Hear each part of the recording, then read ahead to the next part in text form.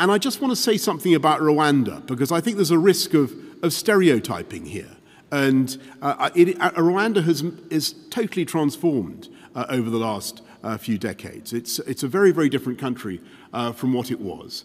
And we are making sure uh, that we have a very, very high degree of confidence about the way people will be received in Rwanda. We're today publishing uh, a, a long uh, memorandum of understanding between the UK and Rwanda about uh, uh, about how they will be received and, and treated. And this is not something that we have uh, put together overnight. This has been uh, nine months in, in preparation. So I would just urge people, you know, not to, to think in a blinkered way about, about Rwanda. There, and there will be, I, I think that this is the prototype of a solution to the problems of global migration flows that uh, is likely to be adopted by other countries. I know that there are other European countries that are already in, uh, in similar discussions, not just with uh, Rwanda, but, but others.